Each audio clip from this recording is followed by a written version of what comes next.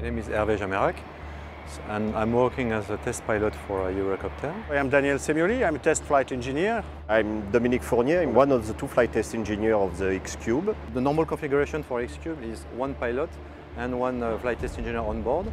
We have to assist the pilot uh, because there are so many things to do during a test flight, so many parameters. Oh, we have separate roles.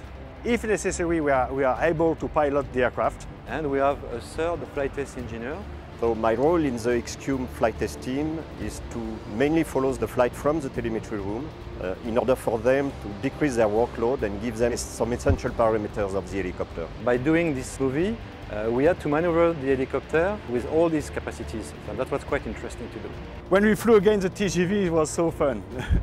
uh, which is so fun is to get to flight over the TGV at the same speed at about 300 kilometers, and then to increase the speed at 400 kilometers and to overpass the TGV. This is fantastic. During these maneuvers, uh, we were able to, to experience the climb with a very steep uh, slope.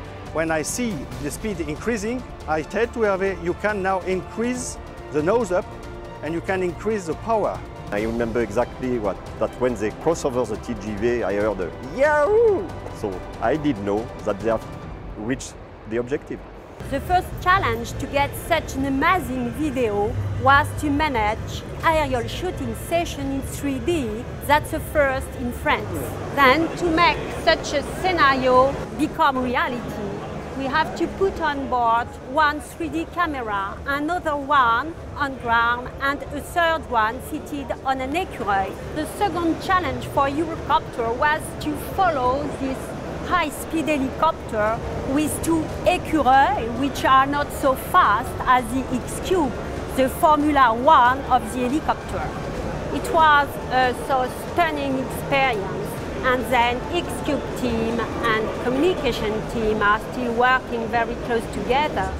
We had really the sensation to be out from uh, all we know from the beginning about helicopters. Since we are uh, so passionate on, on this uh, uh project uh, we, we really like to, to share our, our emotions. It's a, a, a huge challenge, but it's above all a fantastic proudness. We are quite sure to make some new dream become reality. Let's follow us and see you soon.